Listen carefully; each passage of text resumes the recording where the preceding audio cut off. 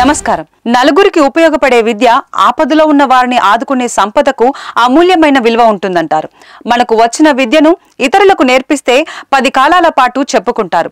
మన దగ్గరున్న సంపదలో కొంచెం కష్టాలతో అల్లాడుతున్న వారికి సాయపడేలా చేసిన ఆ జన్మాంతం గుర్తు పెట్టుకుంటారు దేవుడిచ్చిన ఈ జీవితం సార్థకమయ్యేందుకు ఇంకేం కావాలి? అందుకే భక్తి మార్గం సేవా మార్గాన్ని ఒకే చోట కలగజేస్తున్న అమ్మా నాన్న అనాథుల పుణ్యక్షేత్రంలో ఆయన వారంటూ ఎవరూ లేని అభాగ్యులకు అండగా ఉంటూ తోచిన సాయం చేస్తున్నారు. ఎందరో మానవ దేవుళ్ళు ఈ పవిత్ర ప్రదేశంలో కొలువైన శ్రీ సోమనాథేశ్వరుడు నిర్భాగ్యులకు తోడుగా ఉంటూ ఇక్కడికి వస్తున్న భక్తులను కంటికి రెప్పలా కాపాడుకుంటున్నాడు. ఈ క్రమంలో సిద్దిపేట నుంచి అమ్మా నాన్న అనాథుల పుణ్యక్షేత్రానికి విచ్చేశారు భూపతి రెడ్డి అరుణ అనే సేవామూర్తులు. సింగపూర్లో ఉండే కూతురు అల్లుడు తీపిరెడ్డి రవీందర్ రెడ్డి స్వాతి గార్ల పెళ్ళి రోజు సందర్భంగా ఈ దంపతులపై శివయ్య ఆశీస్సులు ఉండాలని కోరుకుంటూ ముందుగా శ్రీ సోమనాథేశ్వరుడికి అభిషేకం చేశారు. అర్చకులు రవీందర్ రెడ్డి స్వాతి భూపతి రెడ్డి అరుణ విద్యాసాగర్ రెడ్డి వర్షగార్ల పేర్లపై వారి గోత్రాలైన ముప్పాల ఉప్పాల గోత్రాలపై అర్చనలు చేసి శంకరుడి దివ్యమంగళ ఆశీస్సులు అందజేశారు అనంతరం పెళ్ళి రోజు జరుపుకుంటున్న రవీందర్ రెడ్డి స్వాతిగార్ల విజ్ఞప్తి మేరకు కుమార్తెలు సరై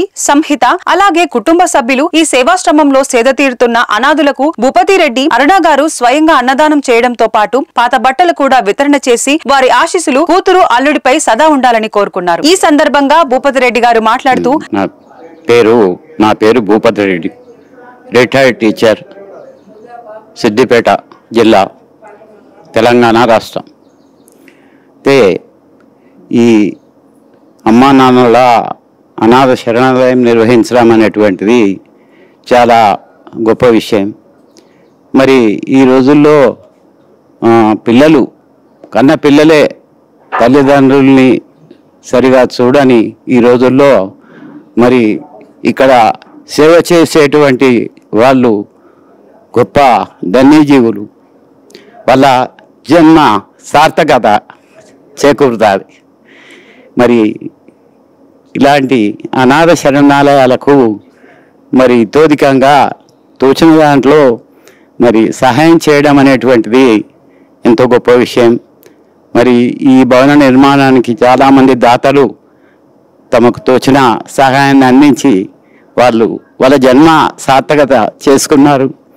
మరి ఈరోజు మా కూతురు అల్లుడు సింగపూర్లో నివాసం ఉండేటువంటి వాళ్ళు మరి అనాథలకు అన్నదాన కార్యక్రమం కొరకు మరి నలభై వేల రూపాయలు అంట అనుకుంటా బహుశా భోజన కార్యక్రమానికి వెచ్చించడం.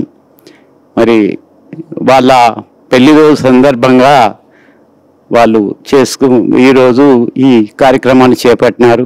చాలా సంతోషించదగ్గ విషయం. ఇక మరి ఇట్లానే చాలామంది ఏదో ఒక శుభ సందర్భంగా ఇలాంటి అనాథలను ఆదుకొని మరి వాళ్ళు వాళ్ళ జన్మ చరితార్థం చేసుకుంటారని నేను ఆశిస్తున్నాను. మరి మీరందరూ ఇక్కడ ఉండి వీళ్ళందరికీ మరి ఎంతో సేవ చేస్తున్నందుకు మీకు ప్రత్యేకమైనటువంటి ధన్యవాదాలు తెలుపుతూ ఉన్నాను. అమ్మా నాన్న అనాథుల పుణ్యక్షేత్రంలో తలదాచుకుంటున్న అనాథుల ఆకలి బాధలను అర్థం చేసుకొని పుట్టినరోజు పెళ్ళి రోజు వర్ధంతి వేడుకలను జరుపుకుంటూ తోచినంతలో సాయం చేస్తున్న మానవ మహనీయులందరినీ శ్రీ సోమనాథేశ్వరుడు ఆయురారోగ్య అష్టైశ్వర్యాలతో అనుగ్రహిస్తాడు. కుటుంబ సమేతంగా ఈ పవిత్ర ప్రదేశానికి విచ్చేసి భక్తి మార్గం సేవా మార్గంలో తరించి శివానుగ్రహంతో మనోభిష్టలు నెరవేర్చుకోండి.